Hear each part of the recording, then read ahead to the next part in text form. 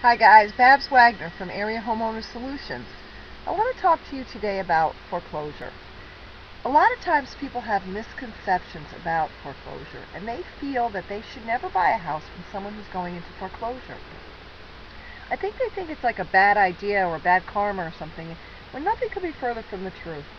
The actuality is that you are actually helping a person in foreclosure if you buy their home. Let me explain.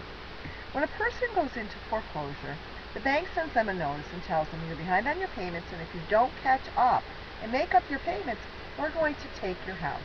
The way they do that is they set up a date, a foreclosure date, and then they come and actually remove the person if they have not left their home. Then they put the house up for auction and try to sell it. In the meantime, if they don't get what that person is if they don't get the amount of money that that person owes on their mortgage, they charge them, they bill them, and then they put a judgment. So now this poor person has a foreclosure on their credit report, and they have a judgment on their credit report. By buying their home, you are actually helping them to stop the foreclosure, save their credit.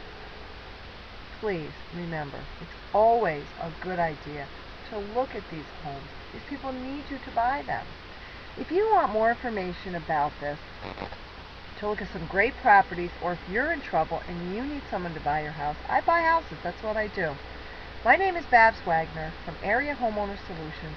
You can reach me by going to www.areahomeownersolutions.com www.areahomeownersolutions.com